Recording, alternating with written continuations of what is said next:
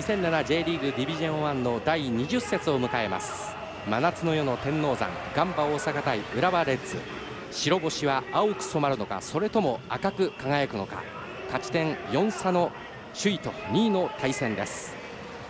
今シーズンは公式戦ガンバが2勝2分け。まだレッズは一度もガンバに今シーズン今年は勝っていません。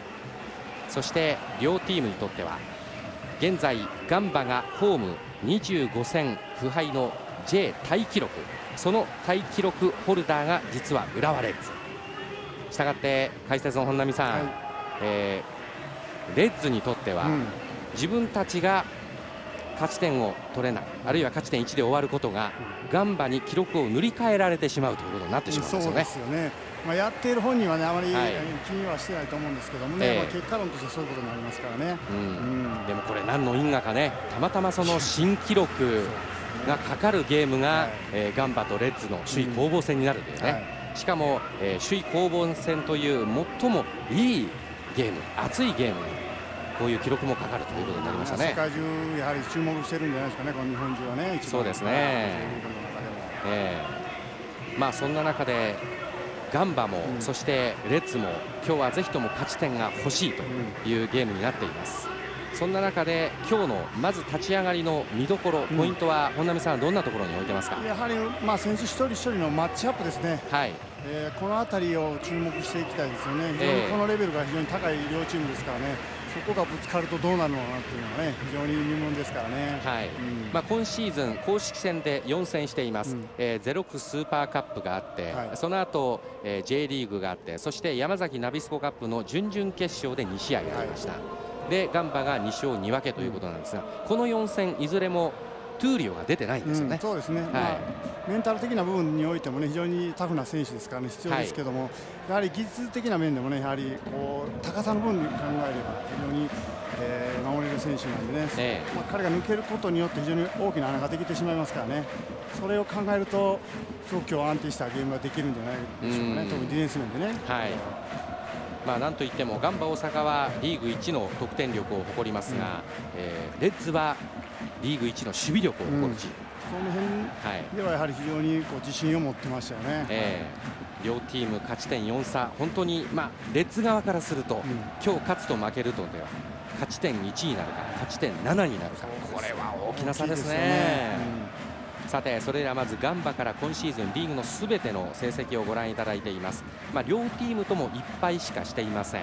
引き分けの数と勝ち星の数の違いがこの勝ち点4の差になっています、うん、ガンバは FC 東京戦から現在3連勝中です。第19節も3対1といい後半のスタートを切ることができました、まあ、後半ということで言えば18節と19節でいずれも3点取って連勝ですからね、うん、一方の浦和レッズです。こちらは第7節に川崎フロンターレでホームに負けてで J リーグのホーム不敗記録が25でストップしたんです。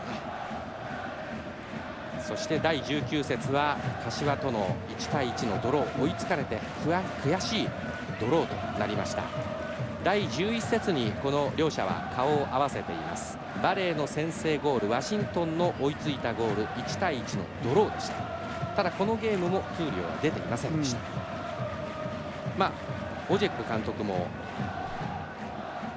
レッズ側から見ると2分け2敗という成績だけれども、うん、これまでの4戦は両チームともそんなにベストのメンバーが出ていない。と、うん、まあ、せいぜい J リーグのゲームだけじゃないですかという話をしてますので、ね、やっぱりこう過去の4戦はほとんど頭にはないという表現をしています。はいさあそして今日、まあ、あの個の対決という話がありましたが、うん、本並さん、その中でも闘莉王、うん、で闘莉王におそらくマッチアップするであろうバレーが今、はい、好調ですよね。そうですよね、えー、どう、まあ、闘莉王を抑えるかですね、それ一つね、えー、ポイントでしょうね。はい、まあ、バレーも怪我明けでどうなのかとちょっと新潟戦心配されましたが、うん、えー、ゴールも入れました、はい、そして全く怪我前と変わらない動きを見せてくれています。そうですよねまあ、バレーとマッチアップしている間にバンドが嫌なところに入ってきて、はい、ということも十分考えられますからね、えーはい、まずはこのバレーとトゥーリオが、うん、本当にゴール前で激しいバトルを展開しそうですね、うん、面白いでしょうね。これでセットプレーになると今度闘莉王が出てきてバレーがマッチアップという可能性もありますよね。うん、ねはい。まあ、そういう意味では、まあ、高さ勝負、強さ勝負まさに個の勝負になりそうなバレーとそして闘莉王の対戦というのも一つ見どころになると思います。まあ、本当に実は、えー、見どころ満載のこのゲームなんですが、うん、あとはどうですか？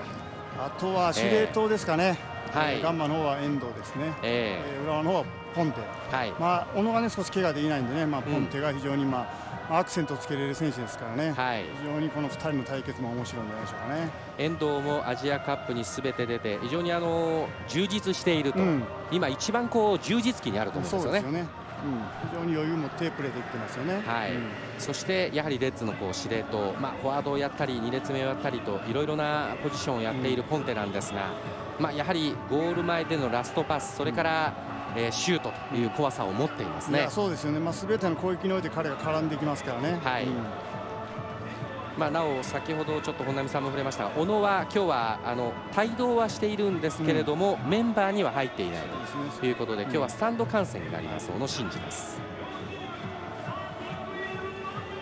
まあそれからあとはえー、サイドの対決というのもね,、うんね。えー、見どころになると思いますが。安田と浦和の山田、うん、この対決も非常にガチングですからねこの完全にねそうですね、まあ、山田はレッズのキャプテンではありますし、非常にこう落ち着いたプレーヤーでもあります、この安田がその山田にどんな仕掛けをしてくるのか。そうですよね。若い安田とやはり経験のある山田ですよね、はい、この辺の対決も面白いですよね。そうですね、まあ、勢いが勝つのかそれとも経験が上回るのか、うん、この辺のまさにこうチーム力の力そして個の力のぶつかり合いまさに首位と2位のガチンコ対決は見どころが満載です。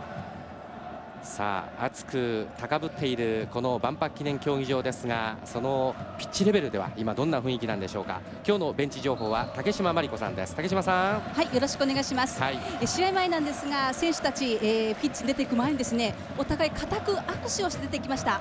バレー選手とトゥーリオ選手も握手をしていましたで今日安田選手なんですけどもマッチアップする山田選手に対して身体能力が高いのでしっかりついていきたいと話していました、えー、試合前、えー、西野監督に今日の試合について伺っていますのでお聞きください。ま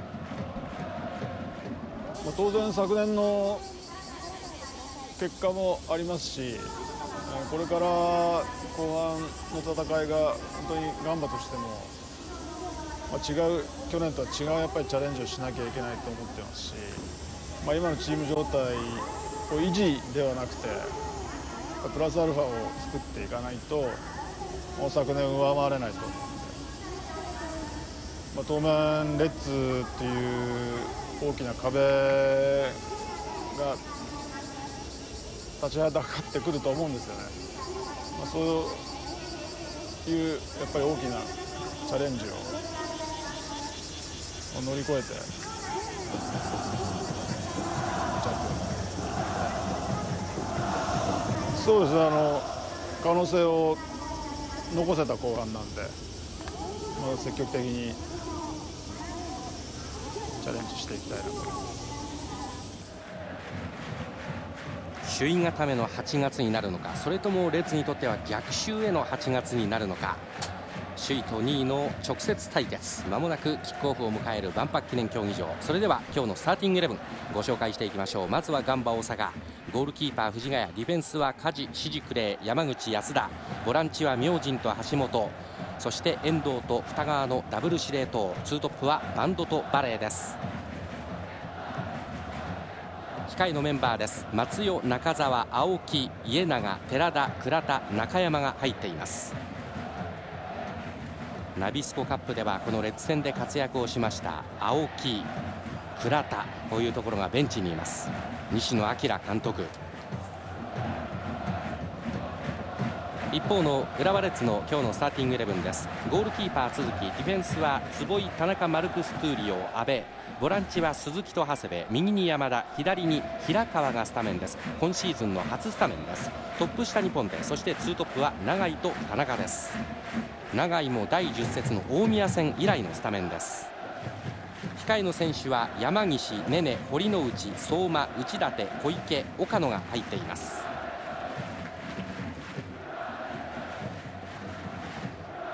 こちらがホルガー・オジェック監督です。勝ち点44のガンバ大阪勝ち点40の浦和レッズ。このゲーム主審は岡田正義さんです。副審は凪俊之さんと唐木田哲さん。第4の審判は奥谷昭夫さんです。岡田正義さん今日が260試合目の笛です。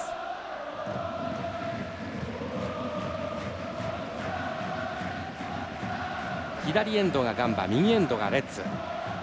J リーグディビジョン1の第20節。ガンバ大阪対浦和レッズ。今前半の45分がスタートしました。まずはディフェンスから長いボールを前線バレーに入れました。ガンバです。これを中盤で取って早く前線に出しましたレッズ。まずは立ち上がりゲームのこう入り方としてどのようなことを両チームは考えていくんでしょうか、やはりなるべく相手のサイドで、はい、えー、やりたいということですよね。これあのボールを持ち込んでえー、ね、はい。ゴール前です。クロスボールが入ってきます、うん、セカンドをシュートを打ったか、うん、遠藤そしてゴール前。入っていったのは橋本英雄です。少し両チームとも長いボールを使いながらということになると思うんですよね、えー、今一つ形を作りかけました。ガンバ大阪です。はい。触らなかったらという感じはありましたよね、えー、本当ですね、最後ね。遠藤です。まあ日本代表カメルーン戦に向けてフォワード以外の、まあ、ミッドフィルダーディフェンダーがおっとゴール前ですがここはゴールキーパー藤ヶ谷ですこのうち両チーム3人ずつ、まあ、今日のゲームでは6人が顔を合わせるということになりますまあ、そういう意味でこう代表直接対決というのもねあの楽しみですよね。それプラスアピールの場であると思うので、はい、まだメンバー変更変更というかね追加招集されると思う。フォワードがまだ6人、えー、招集されていないという中で、まあバンドなんかもその1人ですからね。ここはいいところでボールを取りました明神です。明神のパスちょっと短かった。坪井が取りました。そして平川に田中達也戻して長谷部裏を狙いましたが梶に引っかかりました。山口ここまた中盤で取り合います鈴木、まあ、ですから鈴木と橋本なんかはまさに代表の今ボランチの一つの椅子をめぐっての戦いになりますから、うん、今日のゲームを意識はするでしょうね、ね。えー、右サイドから長井へのパスです。中には田中1枚。指示クレークリアしました。コーナーキックになります。1本目のコーナーキックはレッズです。いところにえぐって中央に折り返しましたレッズの今の攻撃です。まあおそらくこういう形でトゥーリオもどんどん出てくると思います。1本目のコーナーキック。立ち上がりの2分から3分という時間帯です。これはキーパー藤ヶ谷余裕がありました、先ほどみたい。に重量が上がった時に誰がマークつくのかですよね、今も少しルーズになってたんでね、どちらがつくのか分からなかったんで、まあ、そこははっきりしておかないと、ええ。ー、決定力ありますからね、はい、今、トゥーリを持って、バレーがプレッシャーをかけていきました、平川、平川に蓋がプレッシャーかけます。北川ワンタッチありました。スローインです、まあ、ガンバはトゥーリオが上がった後っていうのをカウンターも考えときたいですよね。そうですね。高さがなくなる分ね真ん中でねそこで仕掛けの早くっていうのはね十分考えられますからボランチの橋本英雄もその辺りを言っていました、うん、まああの攻撃が1枚加わるということよりもディフェンスが1枚なくなると考えたい、うん。で特にトゥーリオが上がることよりもトゥーリオに預けるパスをいかに分断するか。と、こういうところも狙っていきたいと話しています。さあ前線バンドにボールが入ったんですがトゥーリオの手に当たりました。ハンドリングの反則を取りました岡田正義さんうん胸だよとアピールしてますが。1本コーナーキックがあったレッズこれは藤ヶ谷がダイレクトでキャッチをしました。今度はガンバ大阪がフリーキックのチャンスを得ました。立ち上がりの3分です。直接もいけますし、はい、合わせることもできるまで距離はありますがどうでしょうか。山口がそしてプレーがペナルティーエリアの中に入っていきます。立ち上がりのセットプレー。まさに関してはほぼ互角だそうですね。少し助走は長めに取ります遠藤です。浮かして触れば面白かったね、はい。まだあるか。指示クレーが戻す。またファールがありました。ついていた長井。明神を倒しました、まあ、先ほどよりも、はい、まあ、ほとんど一緒ですが少し前にいったフリーキックなんで今度はどうするかですよね、はい。うん、先ほどは浮かしてシジクレただシジクレがフリーになりました、壁の右を向いてサイドからはい。バレーと遠藤、うん、ちょっと話をしていましたがあるいはバレーが蹴るんでしょうか。ズドンとくるかバレー。遠藤だ狙ってきたがナイスキャッチ続きよく抑えました続き面白いところを狙いましたけどね、うん、そうですね。バレーをダメージ使って、その後ですよね、はいはいどうぞ。浦和レッズ鈴木選手なんですが、えー、先制はもちろん失点はしたくないのでまずは守備からしっかり入りたいと話していました、はい、ガンバに対しては挑戦者としての気持ちも持ってやりたいと話しています。はい。スローインに変わります。レッズボールです今日はチケットは完売です。ナビスコカップの準々決勝の万博もチケットは完売。当日売りはありませんでした。まあ、それだけもうガンバとレッズこのカードっていうのはプラチナチケットになりつつありますね。うん、そうですよね、えー、昨年の千葉戦以来の J リーグではチケット完売というこの万博です。サイドチェンジから山田開いてグランダーで中央へ送りました。がこれは引っかかりました。バレー。バレー。ちょっと足を取られた形になりました。ファールはありません。今度は左を使います。今日はスタメンは相馬ではなく平川です。今季初スタメン。長井へ。中央には田中そしてポンテがその後ろ。逆サイド。逆サイドには山田が上がっていました。触ったのは遠藤。おっとうまく落としたポンテ。そしてシュートを打った。田中のシュート。枠を捉えませんでした。体をぶつけて、えー、うまくもらいましたねはい。いい形を作りましたレッズです。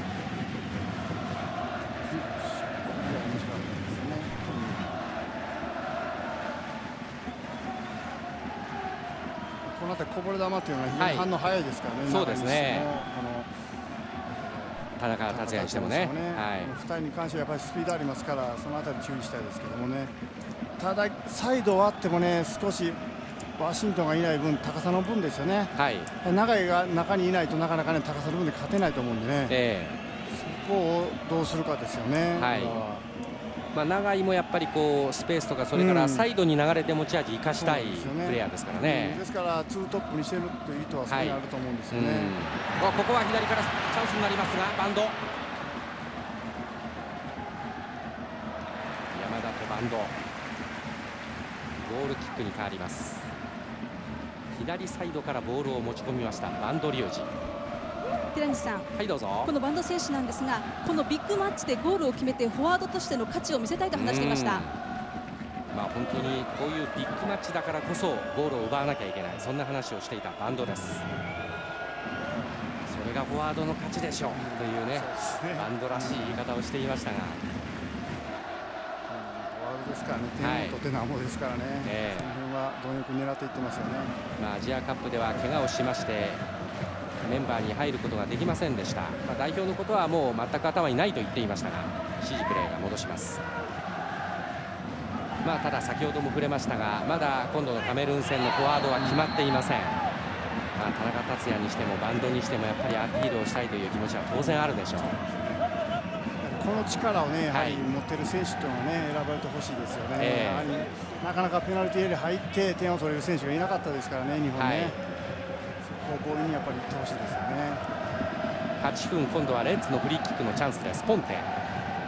長谷部が上がりました。そして阿部も上がります。高いボールから巻いてくる。ゴール前。こぼれ球。シュートを狙うがヒットしない。田中決定的なシュートでしたがヒットしませんでした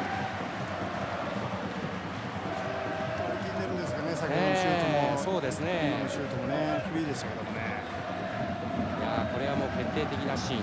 1点入るかというシーンでしたがしっかりとミートすることができませんでした。クロスボール入ってくる。まだトゥーヨがペナルティーエリアの中に入っていました。まだ残っていました。そこのトゥーリオに合わせようという。あのこういう機会は増えるでしょうね。相手のサイドサイドでもね流し込んでもよかったんですけどね、ニアサイド。バレーが吹き出しました両チームのまもなく10分になるという時間帯で本並さん入り方としてはどんな印象を持ってますか、やはりガンバの方がたくさん、今チャンスを作ってますよね、えー、うん、それに対して浦和が今しっかりと、まあ、ディフェンスから入って、はい、今のように、えー、カウンターでチャンスを作り、えーまあ、フリックもらって、まあ、自分たちのリズムを徐々に持っていくというまあ、いつものパターンですよね、はい、ここは中盤でボールを取った、橋本からのパス抜けます。シュートは浮いた。バンド。これは決めたかったバンド両ストライカーが力んでますよね、えーここでうまく挟み込みました、二川と橋本。ポンテからボールを奪ってそして橋本からのパス。バンド。ついたのは阿部勇樹。よくついてましたよね、えーあここで足を振らないとね、はい、もう少しボールを降りてきた時点であれば阿部なしに当たったと思うね。ここを前で取りました。中に入っていて倒れた。どうだ？笛はシミュレーションを取ったんですよね外に引っ張ったのかなバンドのファーという判定です。少しあの真ん中赤っていうのは気になります、ねはい、そうですね。ねポンテ、平川、そして田中です。中央にもう一回入れましたが、長谷部、ポンテ。少しこう距離感が近すぎましたかね、ね。今のボール回しね、列。そこに集結して頑張る選手がたくさんいるので、はい、少し展開したいですよね。えーまあ、おそらくポゼッションでは上回るだろうということがガンバ大阪の選手昨日も練習後に話をしていました。浦和に対してはやっぱり堅守のチーム堅い守りのチームだという印象があるバレーまあ、どうしても3バックなんでね、サイドの選手が降りてきて、5バックになると思うんでね。バレー、おっと、今度は引っ張られたのか、トゥーリオ、トゥーリオが、ここはカードは出ません、注意だけです。こういったマッチアップというのはたくさん増えると思うので、はい、あまりカードもらうとね序盤でねなかなか行きづらくなりますからね。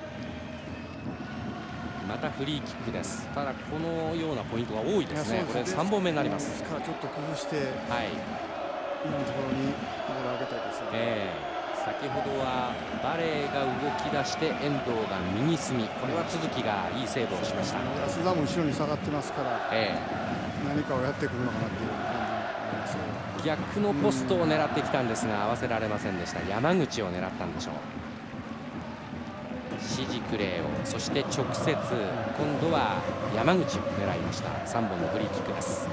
長谷部プレッシャーを受けましたがボールをキープしています。左で平川がフリーです。その平川へ。さあどういう仕掛けをしてくるのか。平川。中へ戻してポンテ。前線は縦にいます。ポンテ。がプレッシャーをかけていった。遠藤のプレッシャーでした。右から山田。山田と安田。このマッチアップもう一回戻して鈴木鈴木はグランダーワントラップしてシュートを左シュート長谷部のシュート！長谷部がターンシュートを放ちました。ボックスの中に入るとね、はい、シュートまで来ますよね。そうですね。平西さん、はいどうぞ。この長谷部選手ですが、はい、ガンバにはこれ以上離されるわけにはいかないので勝つしかない。決勝戦のつもりでプレーしますと話しています、まあ、まさにレッズにとってはそういう気持ちというのはあるでしょう。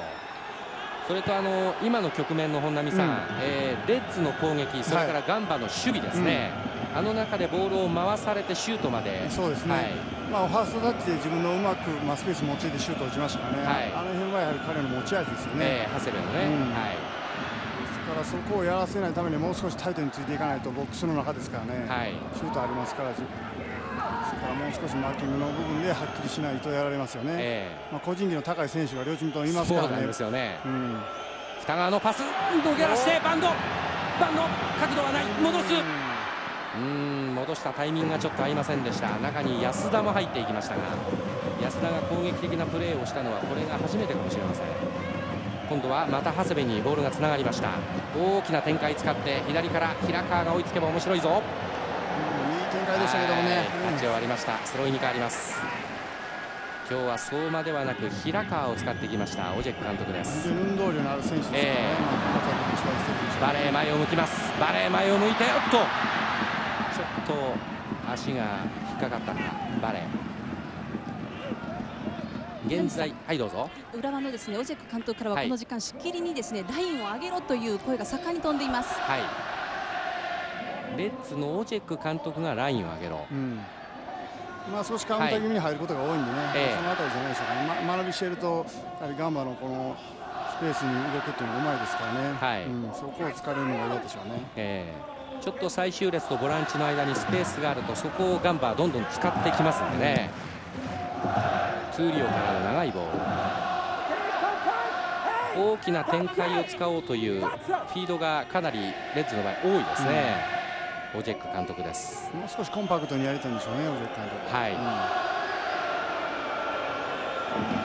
確かに局面によってはボランチとそして最終ラインの間にスペースが生まれることがあります、うん、でその辺りをやはり二側であり遠藤が狙ってます。まあ、そこに対するケアというところが当然ポイントにもなってきます。が今、長谷部戻りました平川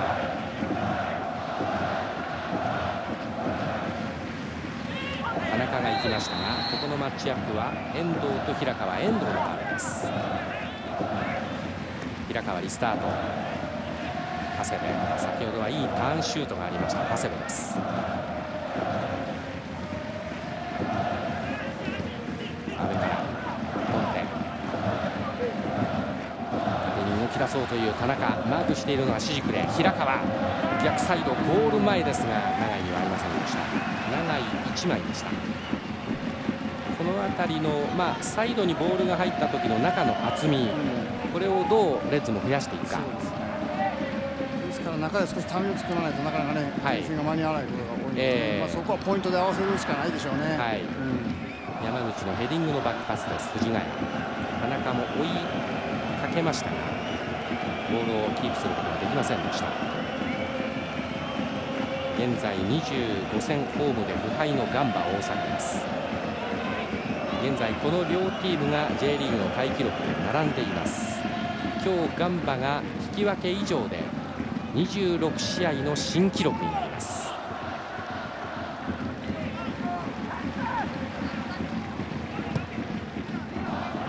これはあのメディアがどうしても取り上げていろいろと昨日もゲーム後に選手に取材をするんですが、かえってあの言われることでプレッシャーになってしまうかなという選手もいましたけどね、あんまり選手自体は気にならないですよね、はい、そのやはり後付けになってくるとしても、はい、あんまり気にはならないですね。えー平西さん、はい、その中でですねいつも物静かな二川選手がですね、えー、去年はレッズに悔しい思いをしているので絶対負けたくないというふうに話していました、はい、なるほど。トゥーリオが入って相手ディフェンダーは安定するけれども倒しがいがある。少ないチャンスを決めていきたいと話しています、はい、左にボールが入りました。平川です。中央に田中1枚。その後ろにポンテがあります。逆サイドに長いポンテにボールが入りました。ちょっとコースが変わります中は締めてますからね、ボックスてるんで、なるべくサイドからサイドから行きたいですね。はい、山田を使って鈴木が今度はその山田の右側へ行きました。最終列はここです。トゥーリオ出てきた、はい、トゥーリオ出てきた。パスを出す。シジクレーのクリア。今度はバレー、うん、そして播戸落として。ここでカウンターの形になるか。二川です。二川。3対3になっています。二川。坪井がついていく。二川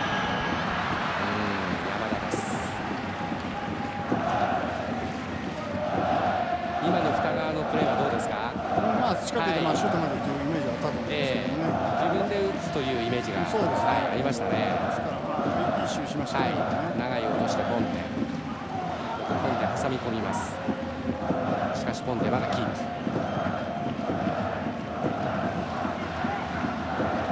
こでまた山田に戻します。非常に浦和としたらこの時間帯リズム出てきますよね。えー、そうですね。サイドを大きく使いながら真ん中に当ててね。はい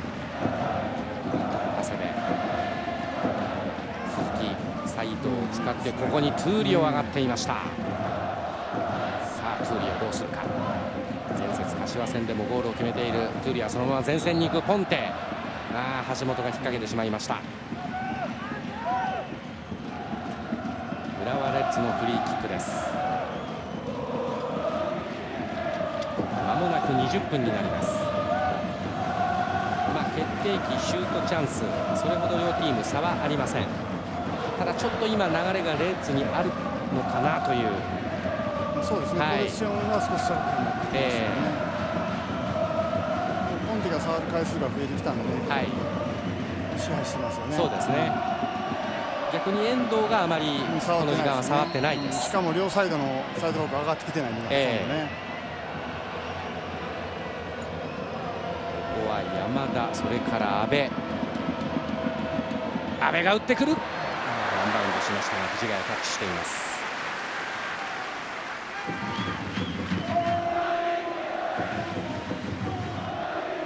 20分を過ぎました、まあ、一昨年ガンバ大阪が優勝した時のキーパーでもある藤ヶ谷。一昨年に比べると今年は本当にチームに波がないので安定して戦えていると。一昨年よりも安定感を感じるという話をしていました。これはオフサイドです。やはり勝たなきゃいけない試合で下位のチームに取りこぼしっていうのはね、はい、何度かありましたからね。それを考えると攻撃というより守備面がしっかりしたなという感じしますね、えー、ここはいい横パスになりました。このままシュート。だったストレスがいいシュートでした。明神。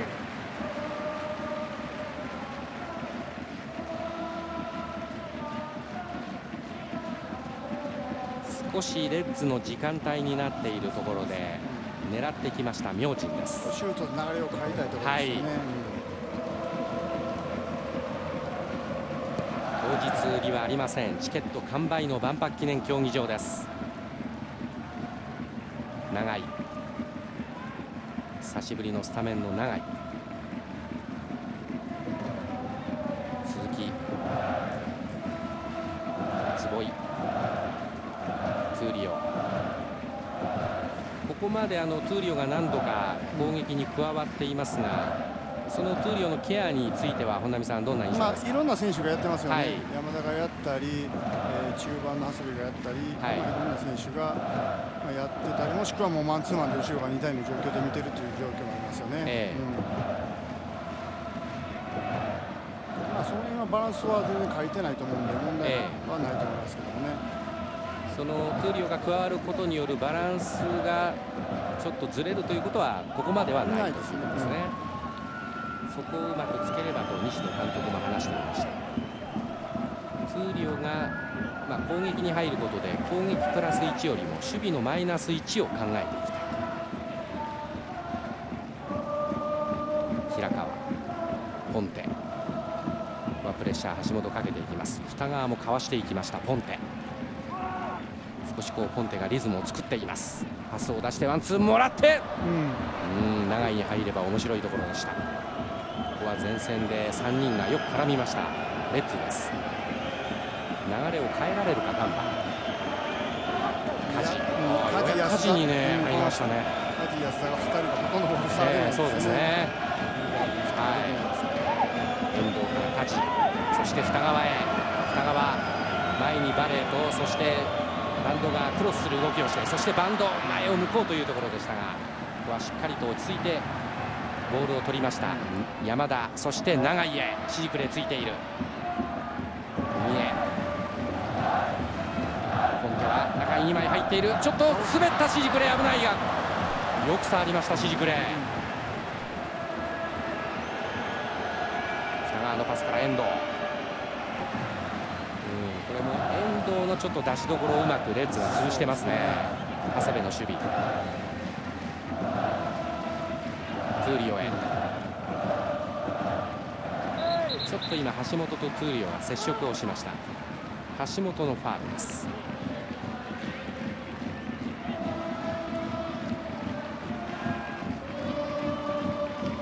ゼロックススーパーカップ。そして J リーグの11節。ナビスコカップの準々決勝。4試合でガンバの2勝2分け。に西さん、はい、オジェク監督ですがこの時間に阿部選手を呼んで指示を送りました。はい。阿部勇樹を呼んだというオジェク監督です。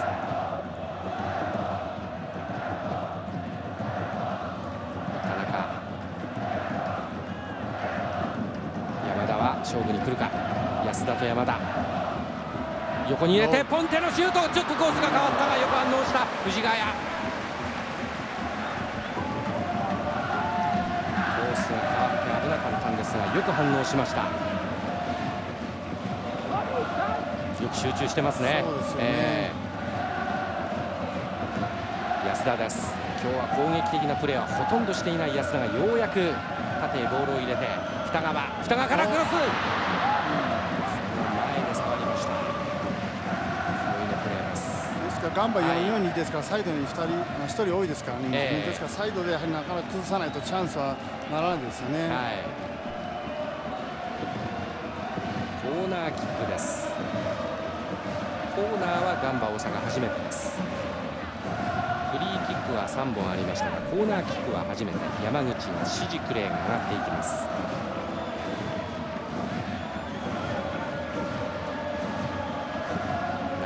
変えたいガンバニアへ。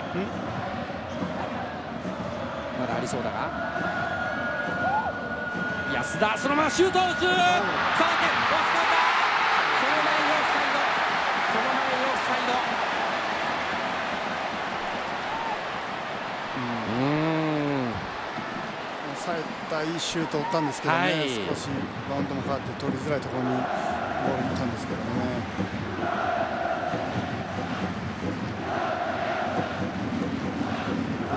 ましたね。はい、ね安田、ここ触って、うん、たんでしょうね。ねシュートへの反応が少し早かったということでしょうか。まあ、あの辺りは当然詰めますよね。はい、そうですね。ただこれでまた流れが変わってくるかもしれません、ガンバ大阪です。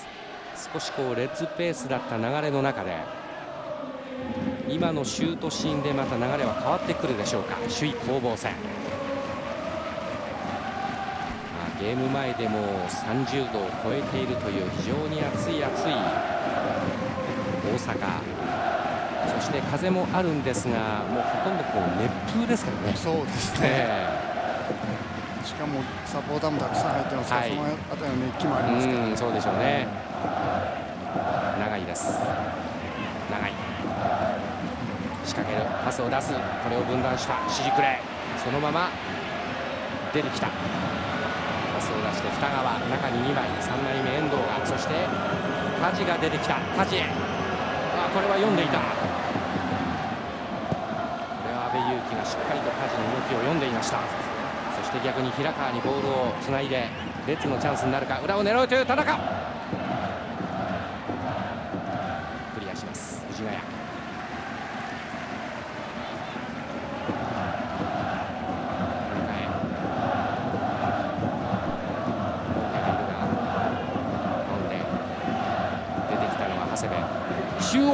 長い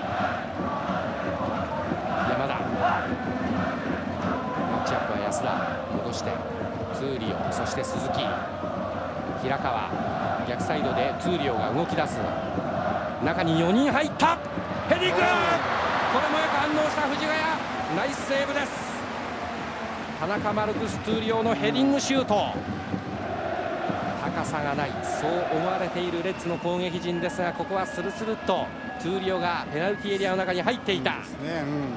うん、一つの攻撃パターンですね、えー、上がった後のやり方ですよね、はい、うん、今そこのケアに安田が行きましたが、やっぱり高さでは勝てませんからね、ね。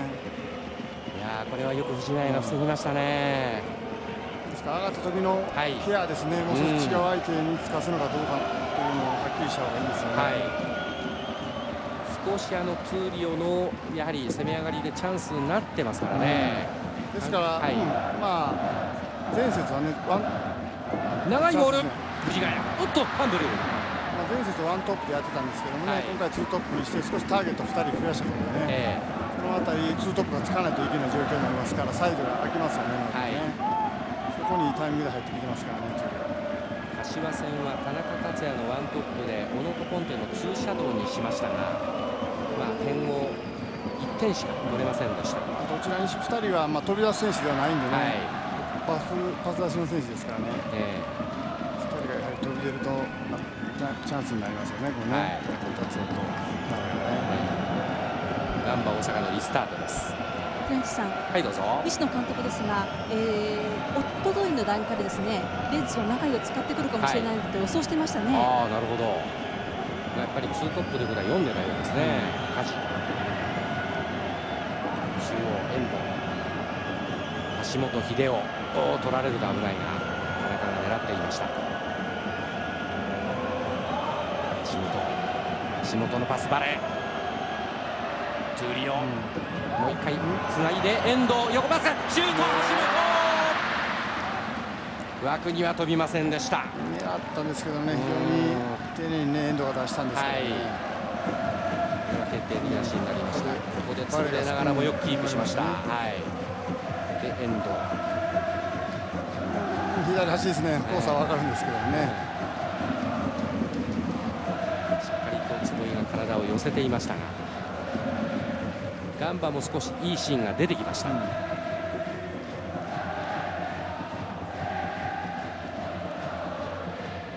このルーズボールをどちらが拾うか。ルーズボールはどうですか？レッズの方がよく拾ってます、ね、そうですね。中央でやはり、はい、ボールこぼれた場合には人数が多いんでね、えー、そのあたり拾う回数は多いですよね。バンド。相手の距離相手との距離を測りながら今ボールをキープしに行ったんですが阿部がちょっと手を使ってしまいました。バンドへのファールです。フリーキックはガンバ大阪です。いや早いですね。もう30分過ぎています、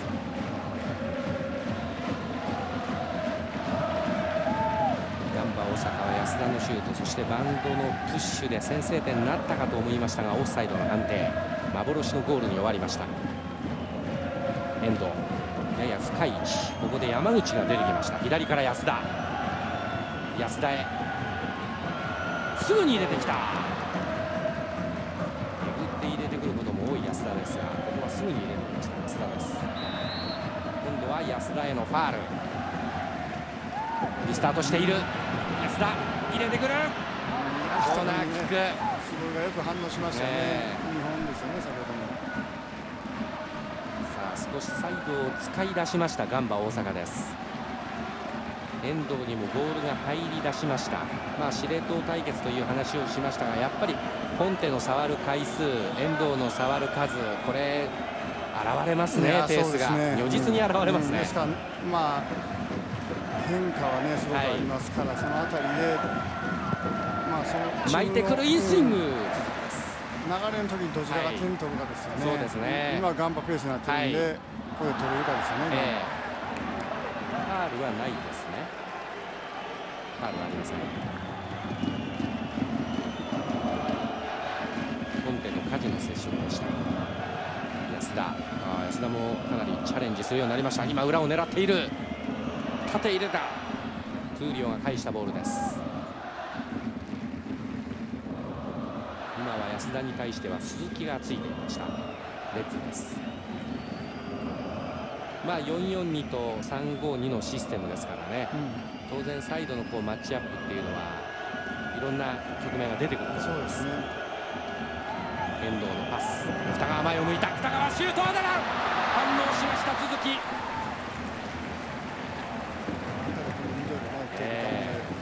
まあ、キーパーは今日は忙しいでしょうね、まあ、見せ場はたくさんあると思いますからね、はい、まあ、鈴木ももともとこの万博で育ったプレーヤーです、うん対決になる続き。トラップしてバンドのシュート。これも続き出てきた。続きよく触りました。まだあるか。体を入れて橋本。うわ。これは列側のファールです。ポンテのファールです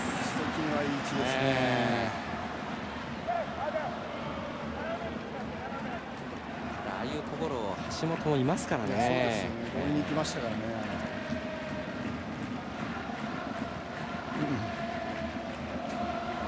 ここやられてしまうと点取られますからね、はい、シュート打たれて当然あ止めにかかりますよね。そうですね。ちょっとポンテがエキサイトをしています。ポンテがエキサイトをしています。坪井がなだめます。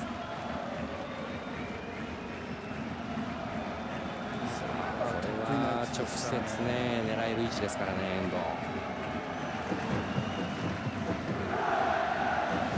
て落とせるかなという感じも、ね、距離的にはどうですかね？巻いて落とせるぐらいの距離ですか、微妙な位置ですかね。ペナルティーの中に壁がも入ってしまってる、はい、キーパーはほとんど見えないと思うんで、ね、ボールに、うん、打ってからの反応になると思うので、はい、枠に行けばっていう感じですよね。グラインドを作れるかガンバラは。狙ってきて触った。押し込めるか？これもスライディングにいったバンドですが。よく我慢しましたね、えー、我慢して待ってましたね。今度は田中が追いつけばチャンスになる。戻る橋本。橋本。先ほどのセットプレーで起点になったのは橋本です。今度はディフェンスに戻りました橋本。逆疲れてましたけどね今、ね、先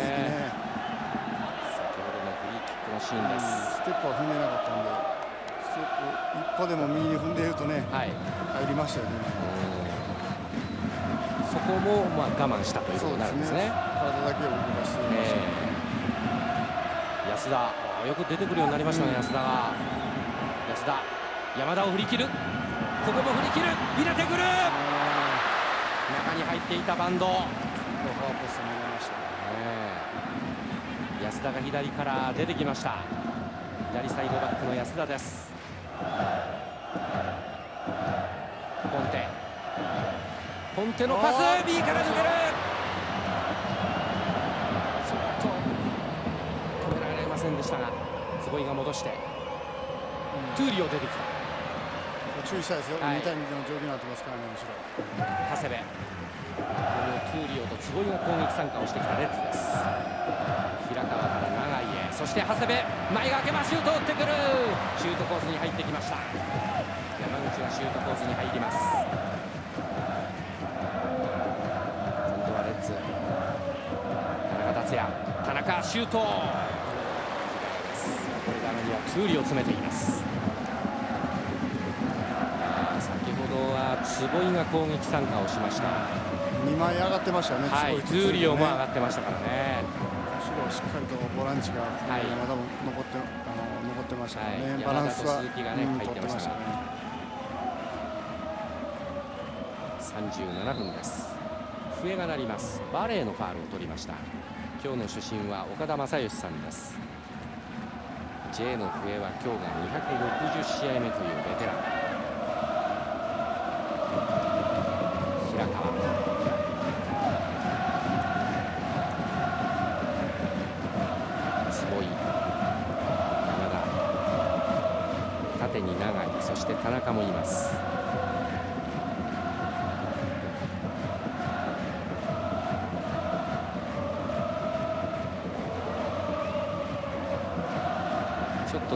ないんでしょうか。ようやく今探して平川に出したんですが合いませんでした。スロイに変わります。ガンバ大阪です。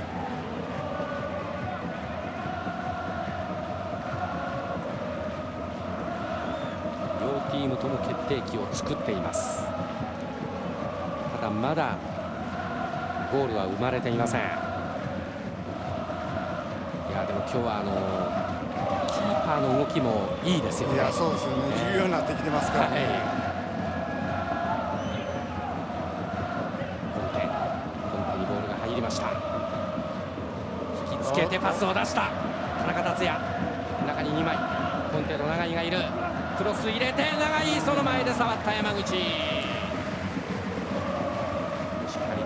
しています。なかなかラストパスを預けさせないというこの辺りのギリギリのところの守備ですよね。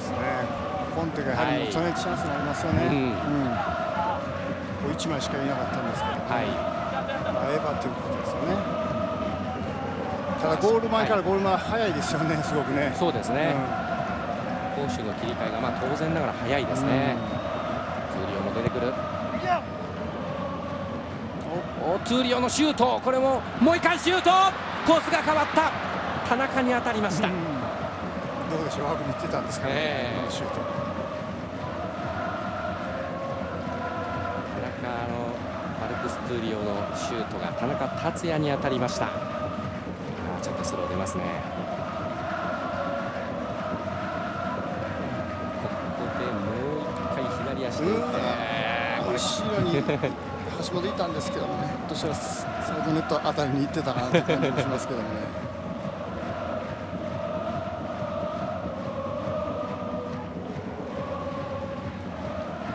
左の平川を使います。田中達也、そしてトップスピードでポンテが中へ。達也。戻して長谷部、長谷部。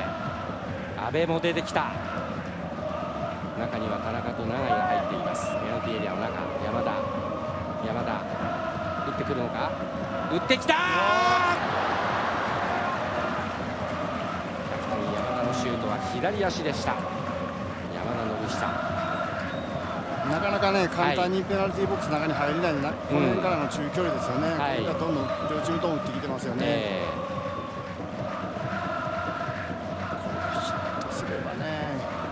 触れ球ですよね、はい、取りづらいボールが来ると思うんで、今はね、レッズのペースですそうですね、またレッズのペースになりますね。ね。本当にこう5分、10分ぐらいの間隔で、両チームのペースが変わっています。40分が過ぎました。バレー、バレー、バレー、トゥーリオ。いいですよね、ここトゥーリオがボールを奪いました。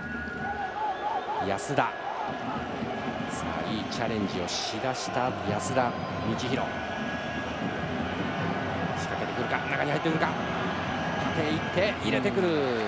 コーナー取ります。まあ、ガンバ大阪今シーズンは非常にバランスよくゴールを奪っているんですがレギュラークラスのメンバーでゴールないのは実は安田だけになったんですよね、フィールドプレーヤーは。求めるのはここなんですね。谷さん、西野監督から指示クレー選手にも上がるように指示が出ました。はい。前半残り少なくなった。山口が出てきて逃げ出して遠藤抜かしてゴール前。これもよく防ぎましたレッツ。ただこの接触プレーでレッツの選手が倒れています。いやものすごい執念でしたゴール前。ですねここワンツーですよね。はい。山口遠藤ついてでバンド当たらなかったんですね頭にね、しっかりと。阿部ですかね倒れているのは、うん、スパイク入ったんですかレ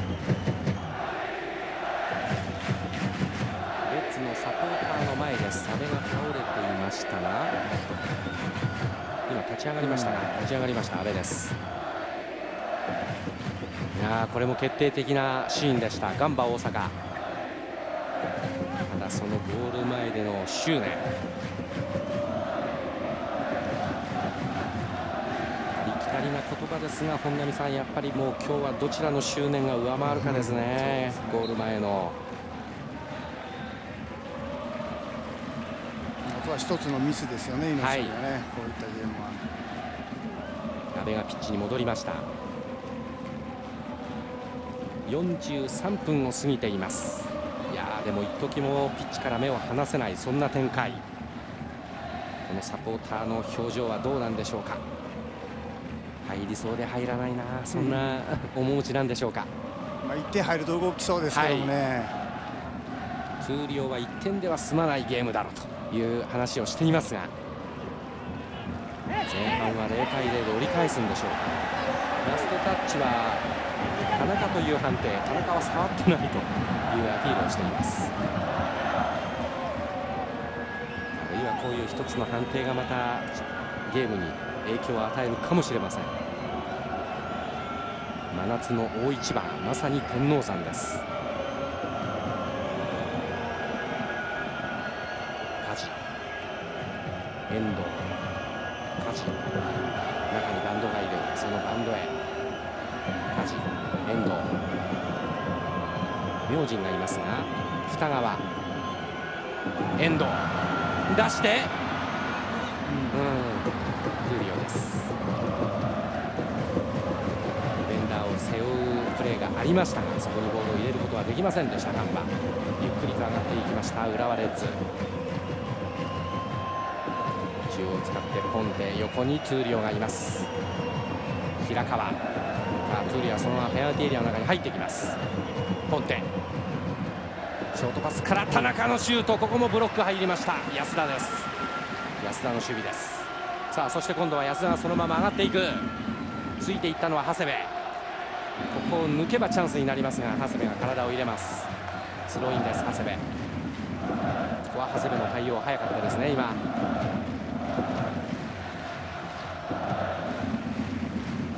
45分を過ぎてアディショナルタイムは1分です。ライオンの審判奥谷明夫さんが今掲げました。アディショナルタイムは1分、うん、非常に早いですよね。あまりボールがタッチライン出る機会とか、ないですからね。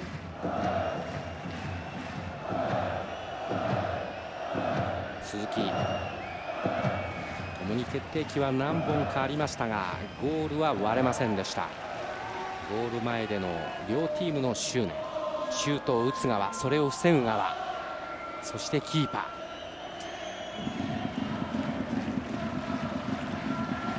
ー。いろんなところに見どころ満載です。まあ対決での見どころも満載ですが局面局面のプレーも見どころ満載ですね。そうですよね。マッチアップのところで、はい、非常に激しいですからね、ね、パスが出たとバレーに入れば面白かったんですがアディショナルタイム1分最後までバレーは追います。ここで笛が鳴りました。前半の45分タイムアップです。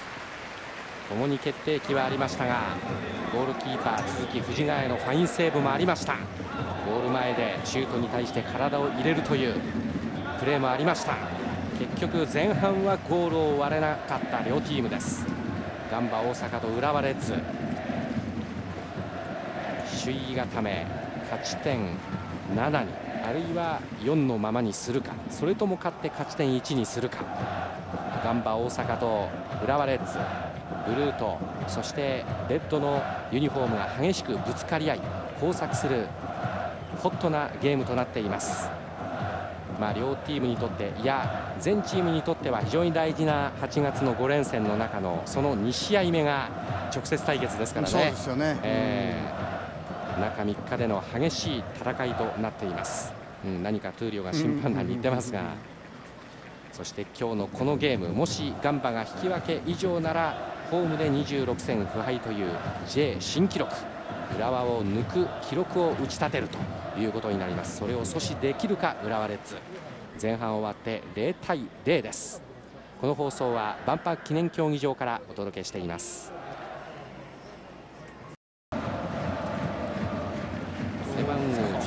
番のバンドに変えて家長あるいはこれ家長をトップに使う可能性が高いでしょうね。バレーのワントップにして、はい、北側と家長のシャドウの形も取れます。し。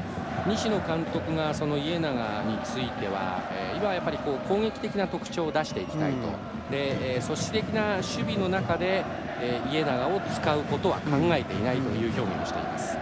寺西さん、はい、レッツの方は選手交代はありません。はいレッズは選手交代なしでもうすでにそれぞれポジションについています。ガンバは後半から家長投入先に動いてきたのは西野監督です。まもなく後半のキックオフを迎えます。今後半の45分がスタートしています。ガンバ大阪対浦和レッズ。J リーグディビジョン1の第20節です。本並さん、はい、まずは家長を入れてきたというこの狙いはどんなことが考えられますか？リズムを少し作りたいのと、はい、スピード感ありますからボールも持てて、えー、シュートもありますからね、まあ、相手にとっては非常に嫌な選手ですよね、はい。うん。まあ、ミドルも打てますしね。はい。田中達也にボールが入るところシークレーです。まあ、悪くはなかったですけど、ね、そうなんですよね。うん少し連動性を持たせたい。ということじゃないですかね、鈴木。鈴木出てきた。おっとここで笛が鳴ってカードが出る。鈴木にイエローカードです。鈴木啓太通算3枚目になりました。明神へのファー。ル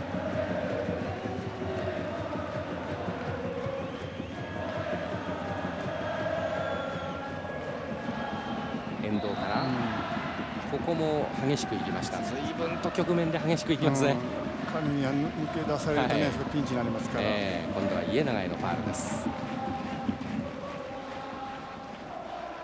ドリブルありますからね、はい、少しケアしたいんですよね、ですからボール持つ前にやはり潰しておきたい相手ですよね、ねさあまた家長でボールを入れます。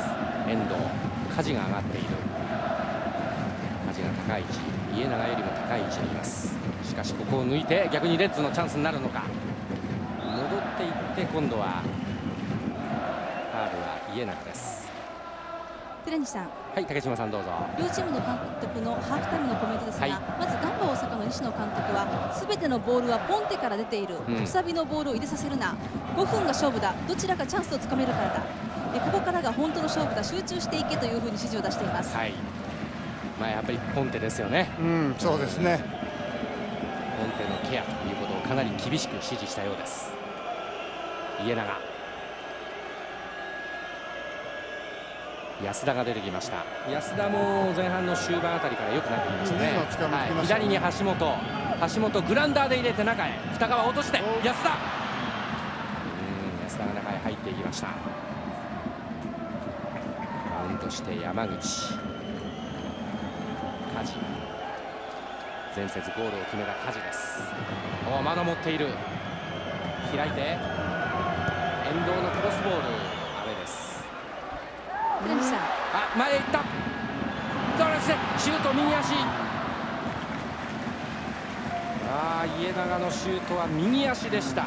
利き足の左ではなく右足でシュートを放った家長です。こういったミスですよね、えー、これをついていきたいですね両チームともね、はい、あまりないと思うんで。もう一度そのシーンです、うん、左足ていった家長さあコーナーキックです。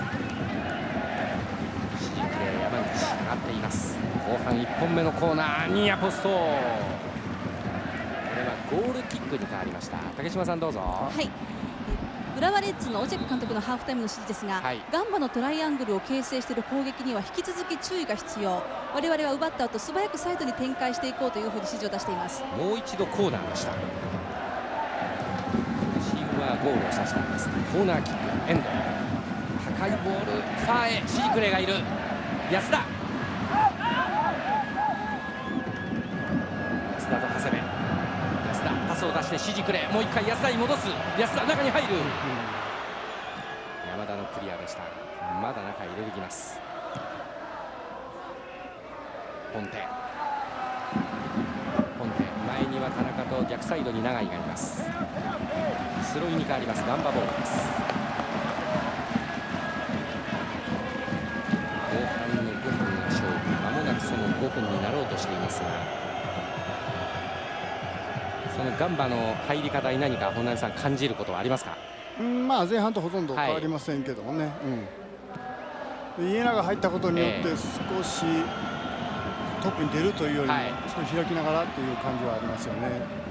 開きながら、うん、開きながら自分でスペースを作ってドリブルっていうのを前を取りながらプレーしているみたいですね。バンドでこうできる、そうですね。出ていくという感じはないですよね、はい、ヘディングで触ってちょっとまだ中途半端なボールでしたどちらかというと1.5列目に家長がいるという感じですかね、はい。うん、こういうこれです。家長。遠藤もう一回家長。ドリブルもあります。家長。ああしかし早く叩いて。梶が出てきたもう一回橋本秀遠藤橋本。橋本も本当にタフなプレーヤーですね。しかし右から左から。今は前線にいる橋本。体を入れていく。の橋本です寺西さん、はいどうぞ。途中出場しましたガンバの江永選手ですが、はい、厳しい試合はベンチの選手の力が大事になってくる、えー、自分としてはチームが苦しい時に力になれるプレーをしたいと話していました、はい、またレッズは攻めてくるのでその方が自分としても戦いやすいんだというのを話しています、はい。まあ、確かにそういう家長の良さが出そうなここまでのね、うん、後半の立ち上がりのプレーですね。彼がドリブルしていることによって、はい、次の選手がね2列目から上がってこれますしね、えー、その辺のためっていうのをね期待してるんじゃないでしょうかね。はい、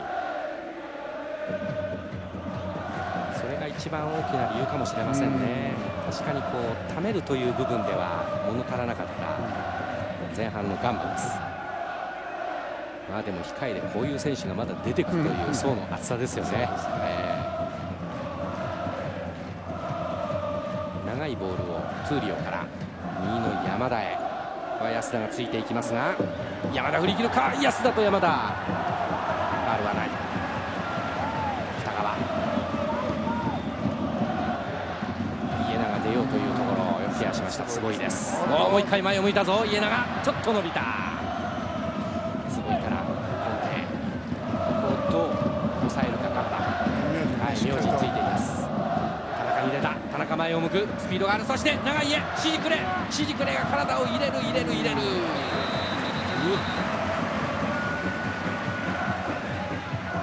最後は格闘技並みの接触の倒れ方です。長い指示くれまあ、指示クレーがいろいろこうスピードのことも言われてますが、ね、今年はあのポジショニングの良さとこういう粘っこさがありますよね。まあ、初めにいいポジションを取るということがね、はい、ですからね。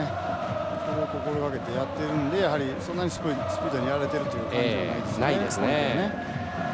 あの辺りワシントンであれば、ね、キープされるんですよね、サイドしっかりとね、外落としたボールに対して周りが反応するんで、嫌な部分ですね、やはりワシントンがいてっていうのはね、逆に長井があの辺のスピードでね、はい、えー、いってるんで、まあ、彼の持ち味っていうのをね、出せてると思うんで。はい、昨年のリーグの得点王、ワシントン、マグノ・アウベスは今日ピッチには立っていません。山田上がりますが逆サイドを使って平川と触れず。バレーがなかなか仕事ができないんですよね、ほとんど抑えられてますからね。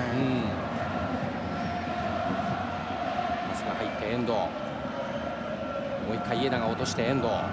横に二川いる。前線にバレーがいる。二川そして橋本がトップスピードで来る。その橋本。橋本シュート。坪井に当たった。ゴールラインを割った。コーナーキックになりますですね、橋本。守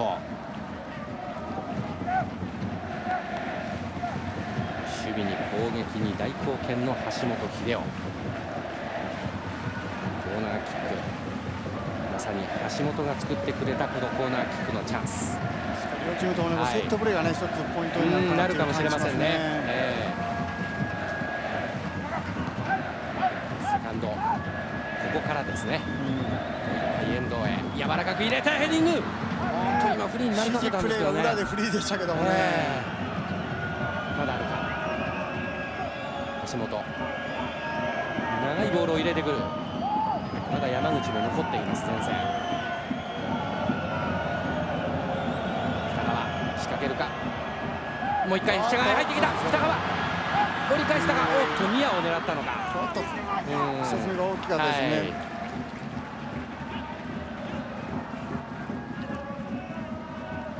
今度はレッズ。おお前を向いてボールを取りました。長谷部。コンテが縦にいますが一旦戻します。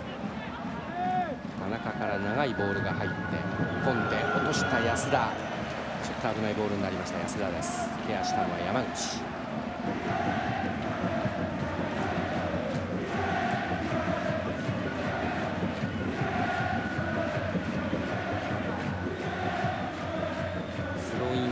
レッズです、ここは。誰に入れるか。コンテに。しっかりとケアしました。ここも橋本でした。やはりこうポンテの意識はかなりありますね、そうですね、えー、ガンバ側は、うん、まあ、まだ厳しくいかないとね、はい、まあ、全て彼からのプレーですからね、はい、攻撃はね。その辺りは西野監督もハーフタイムで指示を送りました、うん、まあ、ここまでバレーがかなり抑えられているという本並さんの解説もありましたが、うん、まあ、バレー自身は本当にあの主にトゥーリオのことに関してメディアでも聞かれていたんですが、いやトゥーリオだけじゃなくて、レッズのスリーバックは素晴らしいんだと、ねえー、トゥーリオというよりも坪井がしっかりとついてますよね、はい、ね。ですから、彼が抜かれても後ろにトゥーリオがいるんでどんどん前で狙って、はい、今みたいに、ね、狙っていきますよね。なかなかバレーががですからボールを受けられない、うん、受けて前を向けないという、うん、ほとんどないですよね、受けて前向いてシュートっていうないですね。寺西さん前半もですね、はい、西野監督が出した指示っていうのはバレーに対してが多かったですね。そうですか。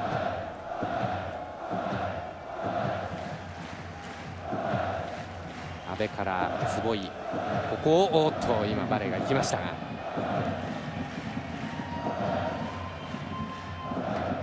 バレーに対しての、はい、田中達也中に2人入っていくポンテと長屋入っています。クロスボール入る。ポンテ、うん、胸で落とす。うっと後ろから山田が出てきたところ、うん、安田と安田が今外へ出したんですがあ担架が呼ばれます。ちょっと今山田が危ない倒れ方をしましたね、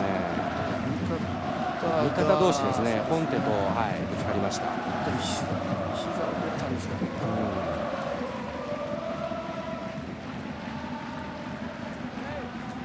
まあ、ちょっとポンテが顔や頭との接触を避けて手を出したようなふうにも見えましたがポンテと山田が接触して山田が倒れてしまいました。ちょうどレッズのサポーターの前です。有価が埋まっています。万博記念競技場。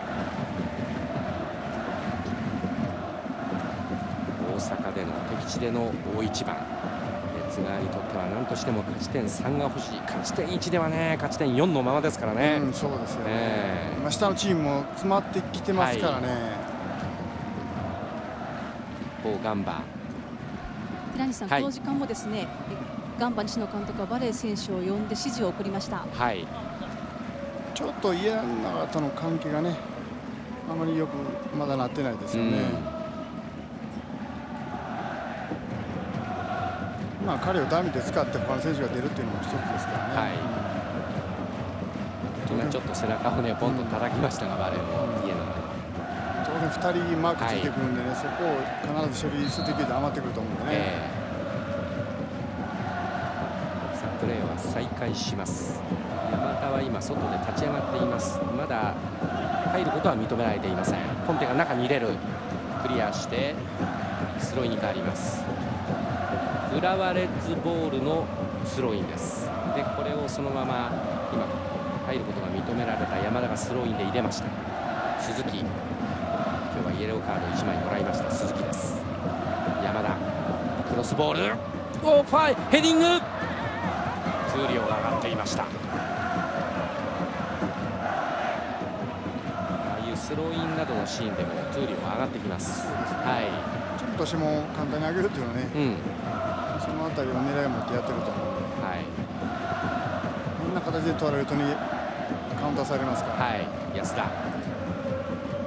二川。山田のプレーです。スローインはガンバです。安田が入れてバレーここに坪井山田山田パスを出して田中がここにいました中央はまだ長い1枚ですポンテが近くに行きます。安田とのマッチアップ。ポンテ安田が行く。安田に触って安田が触ってコーナーキックになります。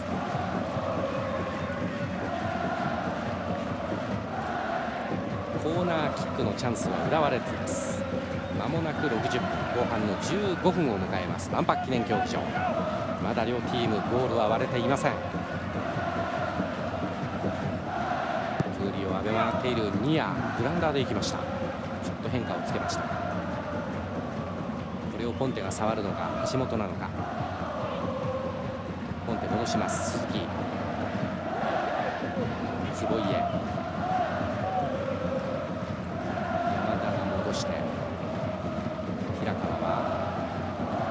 坪井へ。鈴木。まだトゥーリオも前でね、手を挙げています。ポンテの厳しいプレッシャー。パスを出してうまく鈴木が持てば面白いが鈴木グランダーで入れた。田中達也もう一回鈴木。長い。ペナルティエリアに3人いる。ボールが変化します。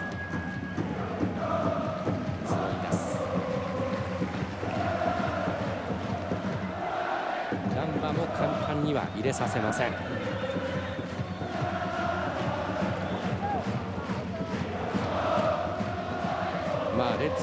チーム最小失点の15なんですがガンバもここまで失点は18です。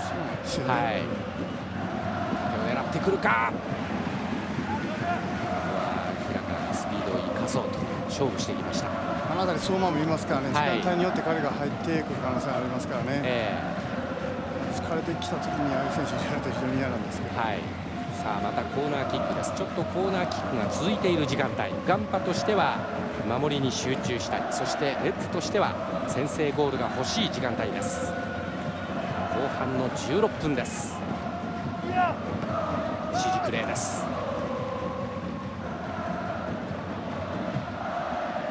ゴールキーパーの都築元ガンバのプレーヤー都築鈴木トゥーリオは今右のタッチ沿いにいてボールを要求していたんですが鈴木は逆サイドに振って平川。そしてポンテは中に入ってくる。スルーしてそして長い長いのシュート。先制ゴール。浦和レッズ長い。第10節大宮戦以来のスタメンの長い。貴重な先制ゴールは浦和レッズに入りました。万博記念競技場。まずは先手を取ったのは浦和レッズ。後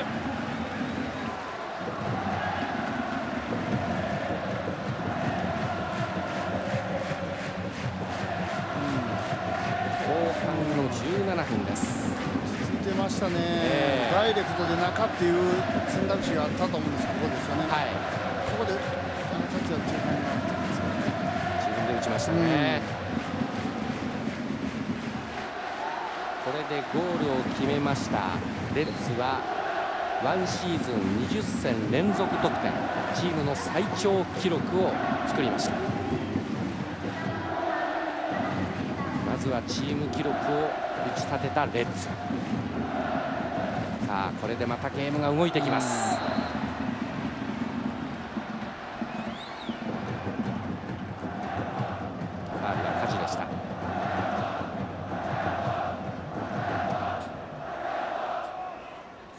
半の17分ゲームが動きました。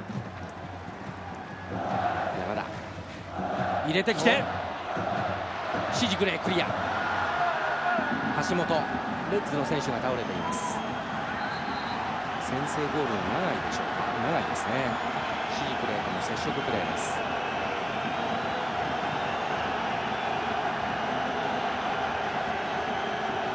レッズのサポーターの前でのシーン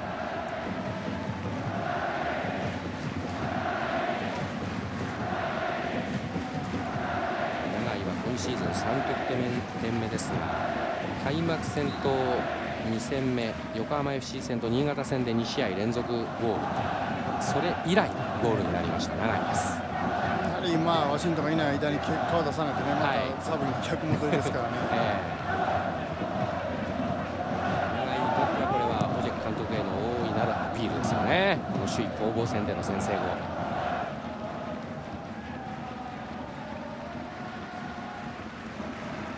うなるとガンバがどう出てくるかですね、はい、すね。残り時間ね、えー、出てきたところにまたレッツがカウンターを取りたいですよね、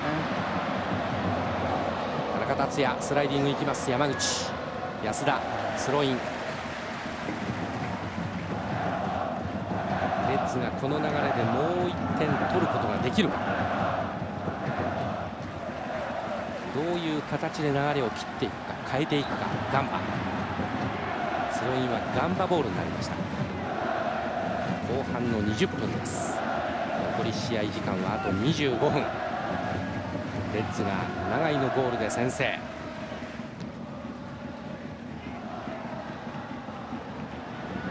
オフサイドフラッグ上がっています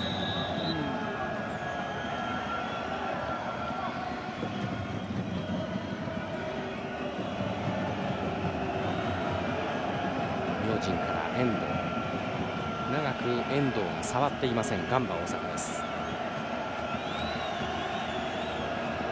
梶。谷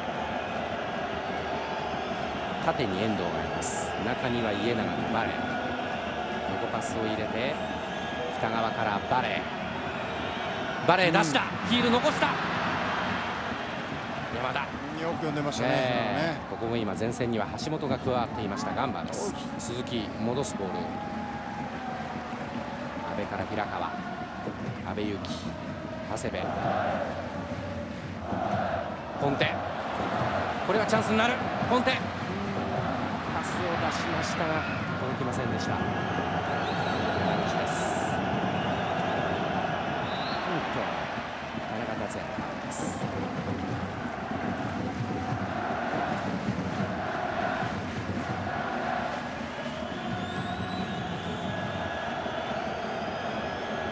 山口から橋本英雄ガンバも遠藤が長くボールを触っていません。うん、やはり舵がほとんど上がれないですよね。はい、そうですね。うん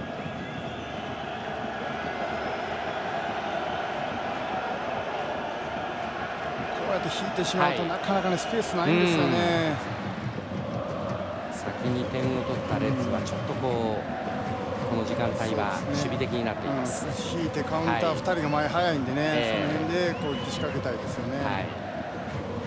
したがってなかなかパスを出すところがありません、うん、ガンバ大阪です。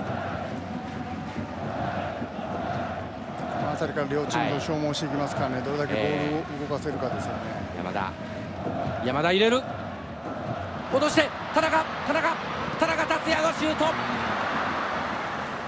左足のシュート。なかなか今日は枠に飛ばない田中達也、ね、いいところに入って、ね、えー、シュートまで行くんですけどもね。しかしコーナーキックになりました。ポンテからですね、はい、ね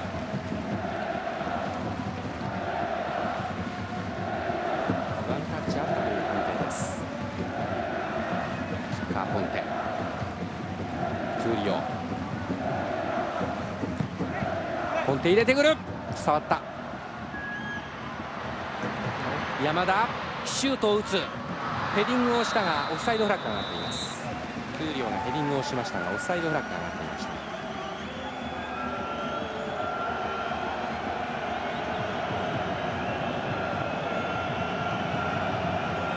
ガンバも少し起点がないんでね、はい、まあ、どこに起点を持っていくのかなというそうですね。ですけどもバレーにもなかなかボールは当たりませんし、はい、エンドもねほとんどボール持てませんからね。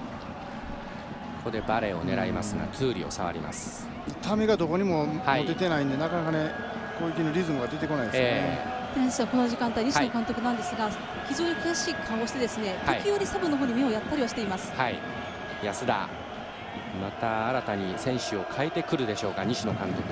右で梶がフリーです。さあ梶クロスボール長いボールを入れて前線は深川と坪井でした放り込んできましたが、なかなか二川では無理があります。あ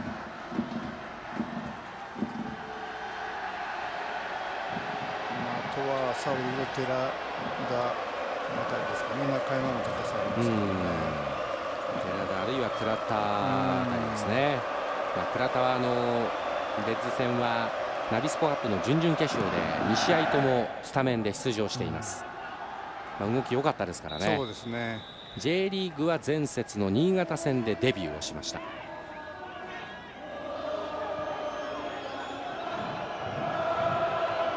うど画面真ん中のプレーヤーです。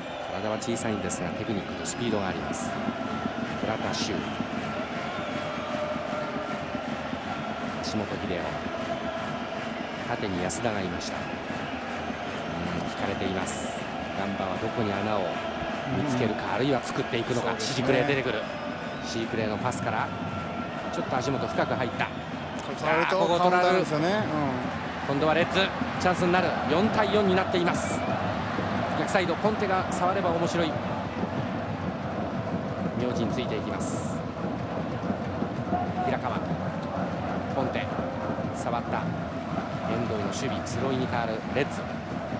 まあ、引いてる相手ですからね少しサイドにボール振りながらギャップ見つけてトップに当てたいんですけどもね、えー、バーレがやはり1人になっているケースが多いんでね当たりどころそこを消されるんですよねボランチにね、ですからボール通らなくなってるんで、はい、なかなか前にボール進まないですよね。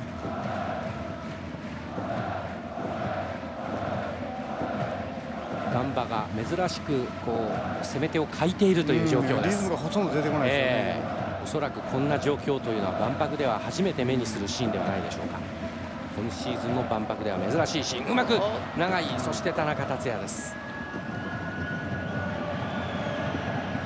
長いもいいアクセントになっています。そして何よりも先制ゴールを後半の17分に叩き出しました。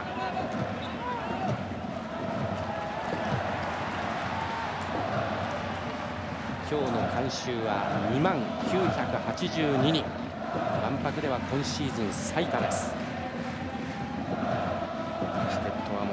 当日よりもなく完売でした。真夏の大一番。2万人を超えるお客さんが万博に入りました。この中でレッズがリード。レッズがガンバのホームの記録をストップさせるのか。どうしても探している状況があるんで、はい、そうですね。が多いんですよね、えー、ここはもつれ合ってファールは明神でしょうか。明神とポンテですが明神にどうやらカードが出ます。うん？ポンテか、ポンテですね、ポンテに出ました、この判定にちょっとポンテが怒りをあらわにしました、ね。うん、前半からずっと言ってるポンテは通算2枚目になります。これで鈴木とポンテにそれぞれカードが出ましたタートはガンバ。こういうリスタートを大切にしたいガンバです。山口。フィールドプレーヤーは全てレッズ陣内に入っています。ガンバ。安田から遠藤。ようやく遠藤にボールが入ってそして明神明神のシュート。詰めていましたバレー。ちょっとだけファンブルしましたが続きを抑えています、まあ、こういったあたりはね、はい、リズム出ましたよね、こうね。ためを作って、はい、チュリはコース消してるんですよね、うん、ですから鈴木も正面でボールをキャッチできました。なに慌てて攻めることはないと思うんですけど、ね、はい、自分たちのリズムがやはりどんどん取っていきたいですね、えー、橋本からバレーが触る。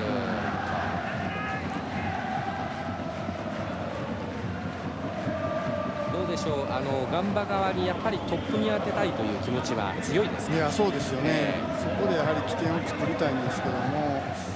あの先ほどの梶のクロスにしても今の橋本のボールにしてもちょっとそういう気持ちが、そうですね。えー、見え隠れしますね、はい、どちらかというと家長も止まってするプレーヤーですから、はい、あの辺りスペースに行けるバンドのような選手が必要ですよね、もしくは二川辺りが2列目が出ていくということをしないと、はい、なかなかこのレッズのねディフェンスラインというのは崩れないですね。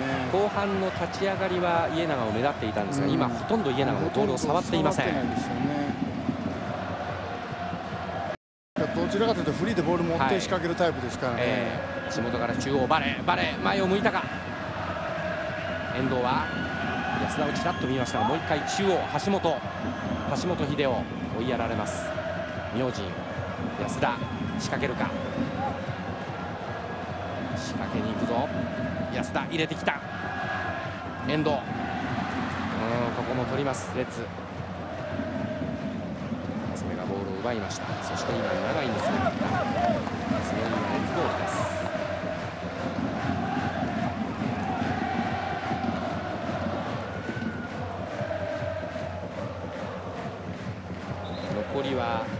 まもなく15分になるという万博記念競技場です。後半の17分長井のゴールでレッズが先制しています。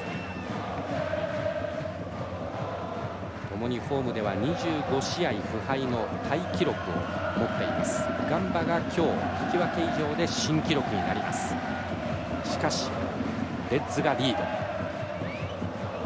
そして現在勝ち点4差レッズがこのまま勝ち点3を取れば勝ち点1差になります。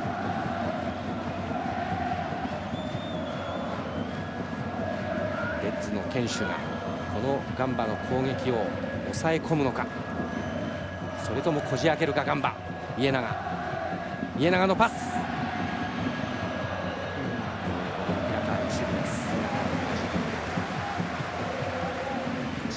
ーナーキックになりました。残りは30分。西野監督はずっと腕組みをして立ち上がりながら戦況を見ています。残り15分。次の手を打ってくるのか。入れてきてトゥーリオが触りました。まだありそうです。遠藤今度は左足で入れました。はファーに選手がいませんでした。ゴールキックに変わります。ちょっとなかなか流れを戻せませんガンバ。西野監督もいろいろと頭の中でイメージを作っていると思いますがどのようにすれば攻撃突破口を見出すことができるのか。ガンバ大阪。しっかりと今レッズがそれぞれガンバのいいところを抑えています。手にボールが出て前に田中田中へパスを出したが合わないがもう一度残して田中田中グランダーで出すポンテ安田バレー、うん、ここですよね。ですね。サンドに来られるんで、はい、当たりも狙っていますよね。はい。バレーでボールを収められないガンバ。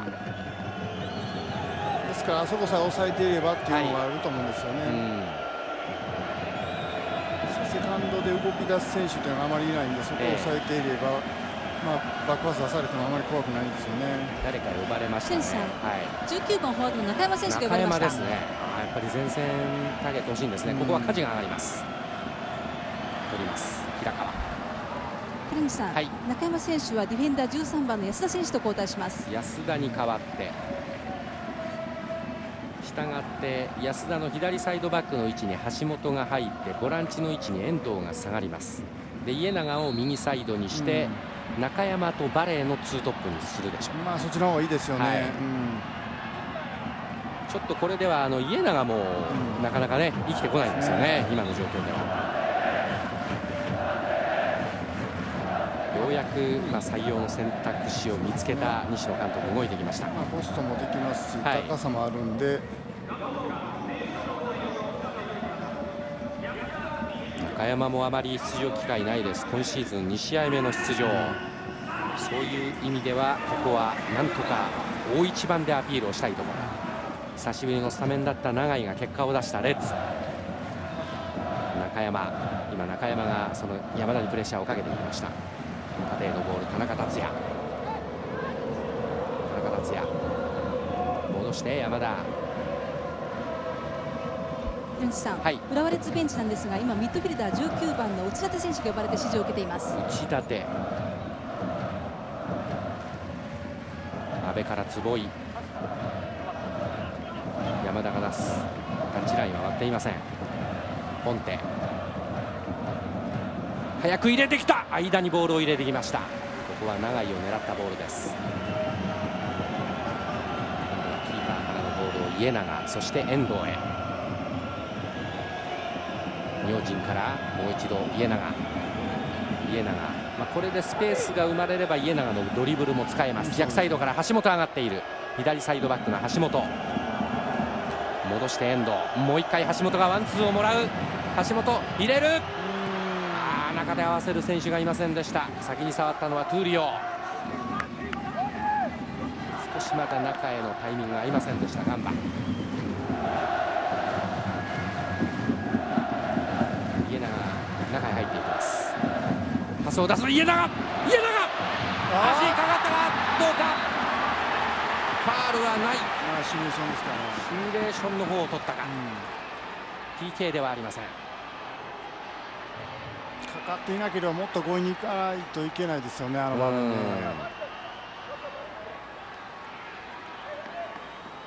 最後の局面ですから、ね、はい。ここですよね。うん、ここで、うん、ちょっと。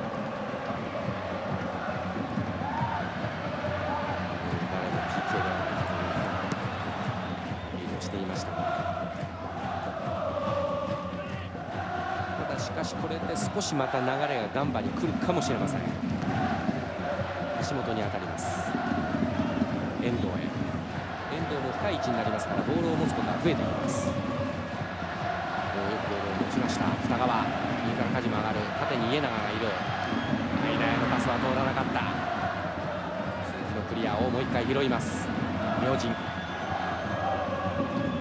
橋本。どうするか。横パス入れた。遠藤家永横に梶がいますが中に遠藤も入っていく。その遠藤ヘディングでつないだ。これで遠藤パスを出したが。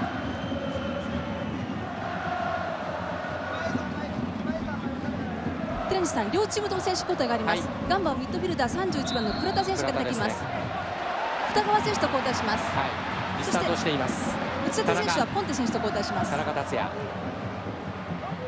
田中ドリブルで抜いていく。橋本。体を入れた。早く攻めたいんですけども、はい、ほとんど引いても自信にますよね、えー、1人2人が。家永右から舵上がります。北川。家永前線には2枚。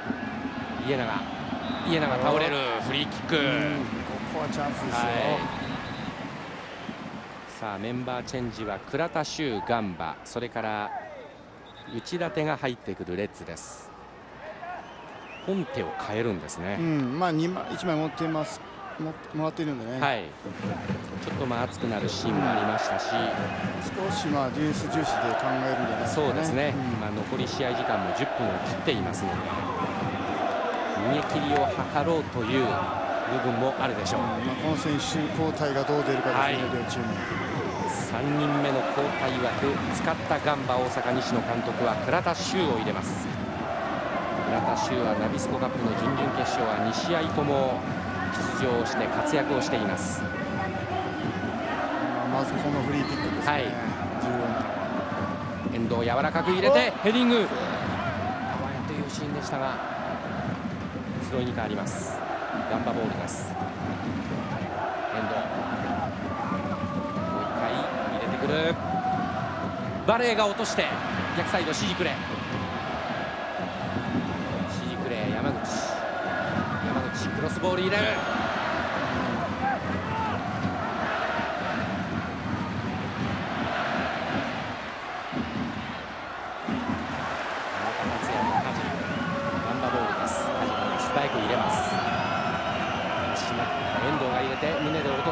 バレー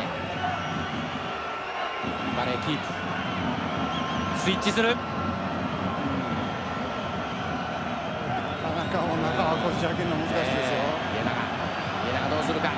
すごいがついている。家永右足。おそらくシュートを狙ったんではないですかね、ね、少し出ましたけど、はい、利き足の左ではなく右足のシュートになりました、うんこの辺もしっかりとね追い込んでいきますからね、坪井。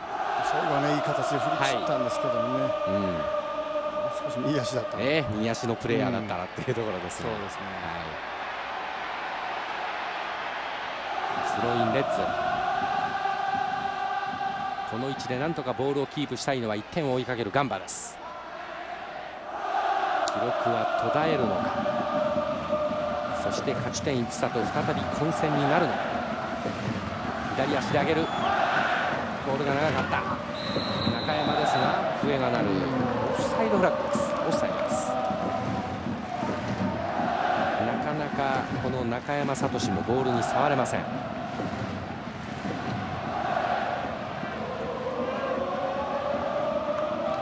昨シーズンは名古屋グランパスに期限付き移籍もしました中山です。残り5分です。全て手は打ちました。西野監督。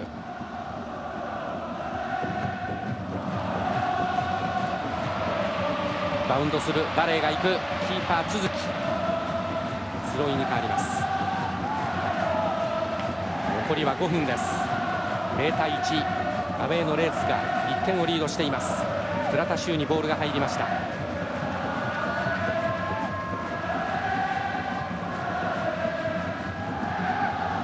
本。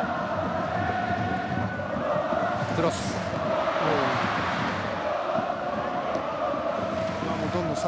から入れたいですね、はい、そうですね。単純でもいいんで。梶倉田もう一回梶クロスボールキーパー続きキャッチです。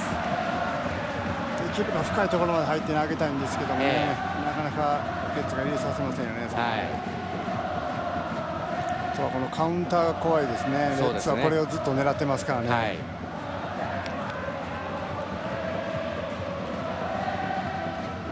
遠藤倉田修。倉田遠藤が縦へ上がります。名字梶へ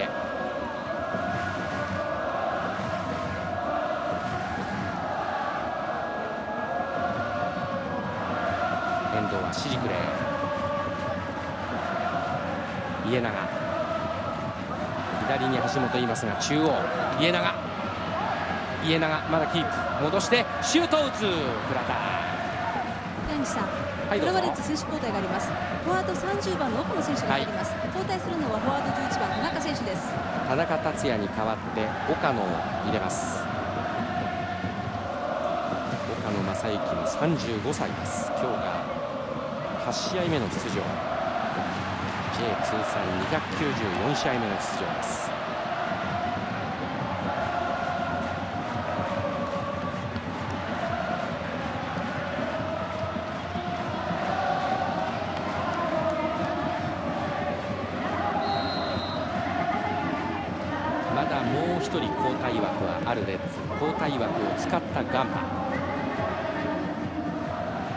山口おっと。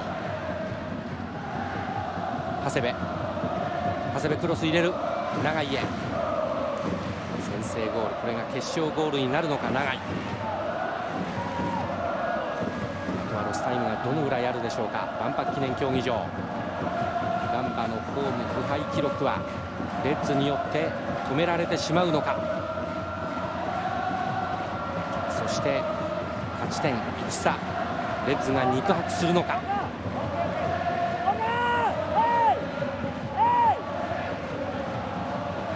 橋本秀夫。家長中央の倉田へ。梶。中山聡。こういう引かれるケースっていうのはガンバ多いと思うんで、えー、まあ、そう苦にはならないと思うんでね、まあ、本来、まあ、サイドから入れるっていう攻撃はしないんでね、はい、ガンバの形を多分最後までやると思うんで、うん、なるべく真ん中でワンツーを使ったりね、ダイレクトプレーを使いたいですね。はいえー、ます。スローインです。残りは2分を切っています。倉田。遠くまで入れてますね、はい、おっと倉田に引っかかった。チャンスになる。クロスボールを入れると味方同士がかぶりましたレッズです。スローインになります。ガンバボールです。89分を過ぎています、0対1アウェーのレッズがリード。入れてきてヘディングポストのわずかに左側でした。明神のヘディングシュートでした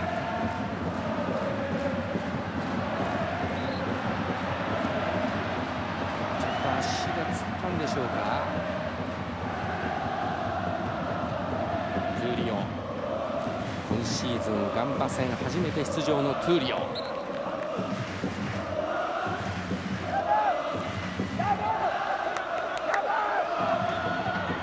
ンバを完封するのか？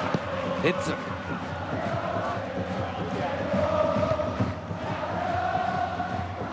バレー。中山。まもなく90分。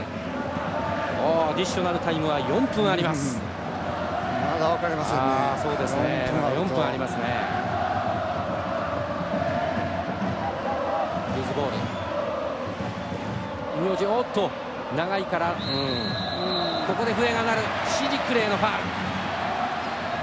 まあレッツはここでゆっくりしますよね、長いへのシジクレーのファウルです。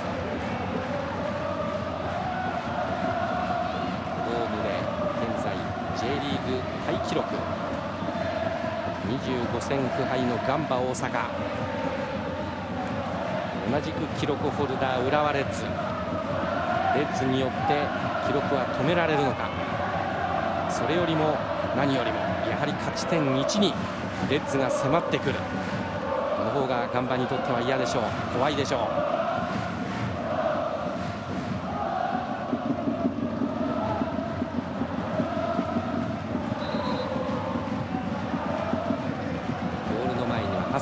部がちょこんと出して鈴木、まあ、ここはボールをキープしようというレッズ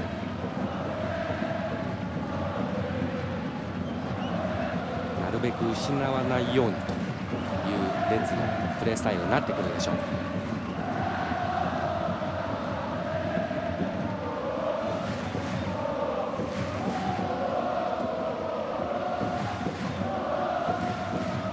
トゥーリオ出てきますトゥーリオ出します。岡野ちょっと山田と合いませんでした。スローインガンバボールになりました。山口。シジクレイ加地へ家長。家長。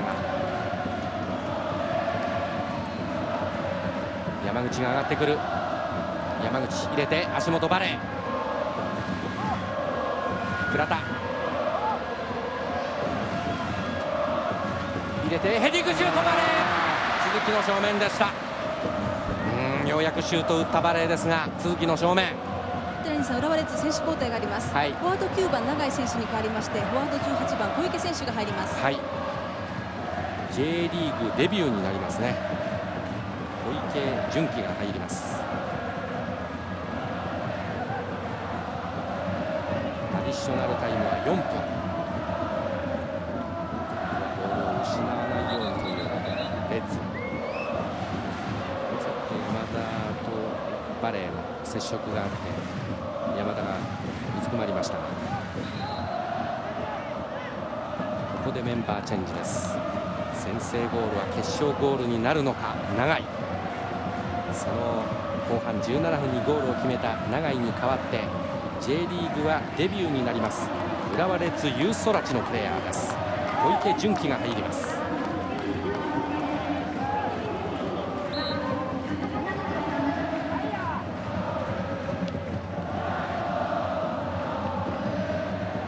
家永家永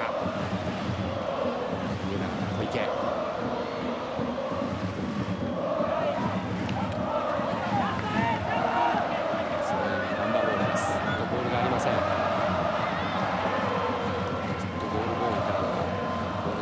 ました遠藤遠藤がこんな位置にいます梶もうこれは山口もそしてシジクレイも上げていますガンバその山口が落とすバレーこれもかき出したトゥーリオうん逆に抜け出すぞ。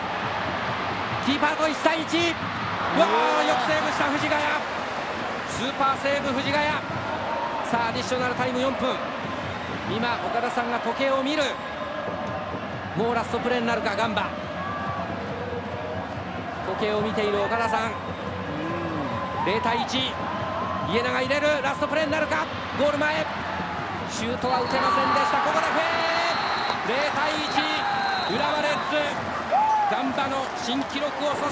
そして勝ち点は1差。再び混戦になる J1 浦和レッズが0対1で万博でガンバを下しました。ガンバ大阪のホーム腐敗の J 新記録はなりませんでした。止めたのはレッズでした。0対1後半17分。永井のゴールが決勝点となりました。ガンバ大阪対浦和レッズの一戦は0対1浦和レッズ勝利です。